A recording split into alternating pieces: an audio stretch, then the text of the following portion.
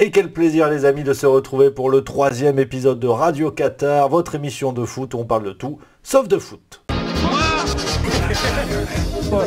Taisez-vous. En Non mais cet homme est 2018, ahurissant. porte-parole du gouvernement. Ce que vous venez de faire, c'est super. Ah, vous êtes de plus en plus nombreux sur Juste Milieu à suivre notre émission, votre, notre, c'est l'émission de tout le monde, hein, de toute façon, de tous les gens qui, bon, se disent, on regarde le foot, on regarde pas le foot, c'est pas la question. hein. Je veux dire, que tu sois un Jean Moulin de la télécommande ou pas, ça ne changera rien. Tu regardes, tu regardes pas, on s'en fout. C'est juste que euh, il y a tellement de choses qui se passent autour de cette formidable Coupe du Monde. Alors Juste Milieu s'engage, on couvre ça en parlant de cette Coupe du Monde, sauf hein, des résultats, sauf des matchs, parce que bon, on s'en branle, hein, on va pas se mentir non plus. Donc voilà, troisième épisode, là vous êtes à plusieurs dizaines de milliers déjà, voire plus de 100 000 hein, en tout, hein, c'est complètement fou. Avoir regardé les premiers épisodes, c'est le troisième aujourd'hui avec, voilà, hein, là c'est une, première palme d'or, un, ca- un carton doré que j'ai envie de décerner à Stéphane Guy, ça c'était le 20 novembre dans l'émission sur RMC, un l'after foot que vous connaissez peut-être, l'une des émissions de sport les plus écoutées à la radio et en podcast, c'est du différé. Euh, Stéphane Guy, journaliste, alors c'est vrai que bon hein, qu'on aime bien critiquer, ceux, qui regardent la Ligue 1 comprendront, euh, qui a mis quand même les pieds dans le plat, et c'est assez rare pour le souligner. Il a pointé du doigt un petit peu cette Coupe du Monde, et la question effectivement des, des travailleurs hein, morts hein, sur les chantiers. Il a lui-même parlé d'esclaves en direct à la radio.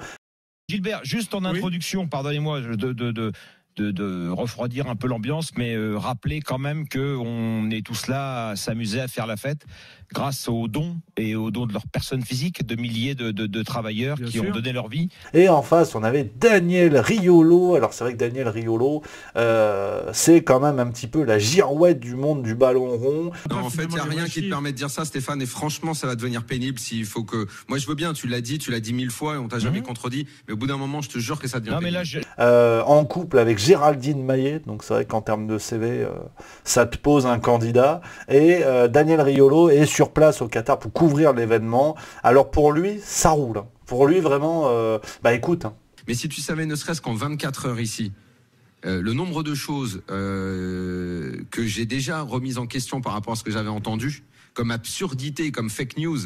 Donc, Ah ouais, hein, si tu savais, ne serait-ce qu'en 24 heures, le nombre de choses que j'ai déjà remises en question par rapport à ce que j'avais entendu comme absurdité, comme fake news, Daniel Riolo, il est détendu du slibard. Alors c'est vrai que celui qui parfois hein, n'hésite pas à ne pas avoir sa langue dans sa poche pour certains sujets, euh, là c'est quand même curieux. hein. Le monsieur se déplace au Qatar, il n'y a plus de problème. Euh, parler d'esclaves sur les chantiers, pour lui, non, c'est un petit peu... C'est pas exactement ça. le seul sujet, c'est effectivement celui, tu l'as dit, c'est le seul l'esclavagisme. cas vraiment inté- Non, non, non, c'est celui des droits humains sur les travailleurs Oui, qui est de intéressé à. Tous De les autres sujets, tous les... ça n'est pas de l'esclavagisme. Ah bon l'esclavagisme, c'est pas quand t'es payé.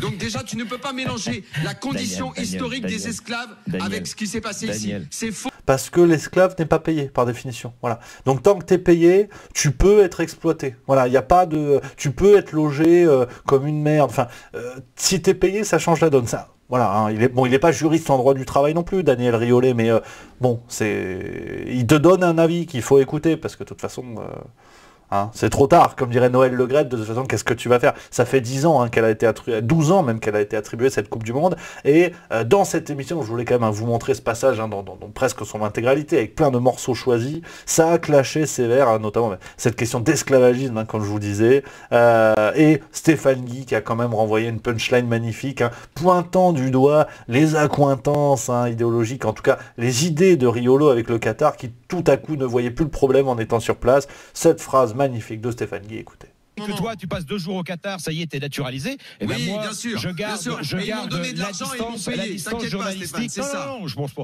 Je pense C'est que ça, bien ils ont même pas, ils ont bien même pas sûr. besoin de ça. Ils ont même pas besoin de ça. Non, mais franchement, c'est. Mais- Bon les gars, Tu passes deux jours au Qatar, ça y est, t'es naturalisé. Ça, ça fait plaisir. Un échange comme on aimerait en avoir un peu plus souvent dans les médias, hein, plutôt que parler euh, des scores de je sais pas quoi, d'équipe de France, de... hein, on s'en fout, tu vois. Hein, à l'heure où, où je te parle, la France a joué son premier match, je connais le score, je ne te dirai rien. Parce que c'est pas le sujet de Radio Qatar. Voilà. Non, mais à un moment donné, il faut être cohérent avec ses positions. J'ai choisi d'avoir un style vestimentaire dégueulasse, je vais au bout de la chose. J'arrive pas un jour dans un costume trois pièces, euh, Dolce et euh, Gabbana. Donc euh, c'est comme ça, c'est un choix à faire. Deuxième actualité sur laquelle je voulais revenir avec vous, ça c'était le 21 novembre sur TF1 qui nous a fait un reportage. Alors c'est mi-figue mes raisins, parce que tu sens que les, médias euh, évoquent un petit peu hein, ce qui se passe, ils te montrent des choses. Je pense que derrière la caméra, tu vois, ils doivent se dire, mais... Euh, Jean-Jacques, euh, c'est n'importe quoi ce qui se passe. Ben là, le reportage, c'est un peu ça. Euh, voici hein, les logements tout à fait sympathiques qui ont été réservés pour les supporters du monde entier. C'est euh, reportage TF1 passé le 21 novembre. Mais tu vois, bon, ça ne dérange personne. Hein. Les mecs ont payé une blinde pour dormir dans un mobil-home.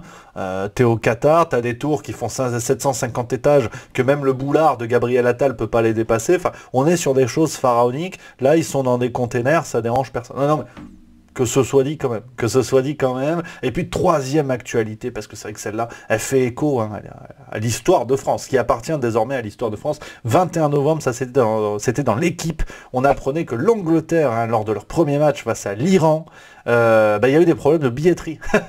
ah, décidément. Ah, les Anglais, les billetteries, c'est fou. Hein. Hein, comme dirait euh, Gérald Darmanin, calmez-vous, ça va bien se passer, parce que euh, ils ont tout le temps des tuilasses. Hein. En France, bah, c'était les supporters anglais, hein, qui étaient des brigands de grand chemin, qui ont créé le chaos aux abords du Stade de France.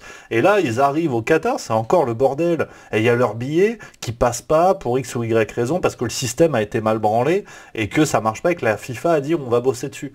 Bah, ça tombe bien, la compète est commencée depuis 3 jours, 3-4 euh, jours, un peu plus même. Euh, donc bon, c'est n'importe quoi, mais c'est vrai que j'aimerais pointer du doigt le rôle de ces supporters anglais qui sèment le trouble à travers le monde. Euh, au bout d'un moment, euh, ça fait un petit peu beaucoup. Où est Didier l'Allemand? Rendez-nous l'Allemand, quelque part. Donc, euh, j'aimerais voilà, poser cette question et finir ce troisième épisode de Radio Qatar sur ces actualités-là, les amis. On va très vite se retrouver, en fait, vous le savez. C'est une émission hein, qui est, voilà, ça arrive au compte-goutte, mais il y a tellement de gouttes que c'est plus une émission, c'est un pot de fleurs. Donc, on va se retrouver très très vite pour ce quatrième épisode de Radio Qatar dans quelques jours, peut-être même demain, on verra, hein, selon l'actualité. C'est que du plaisir, les amis. Donc, en attendant, n'hésitez pas à découvrir les autres vidéos, juste milieu, c'est par là. Ou alors vous pouvez vous abonner, c'est beaucoup de plaisir. Et puis moi je vous embrasse, à très vite.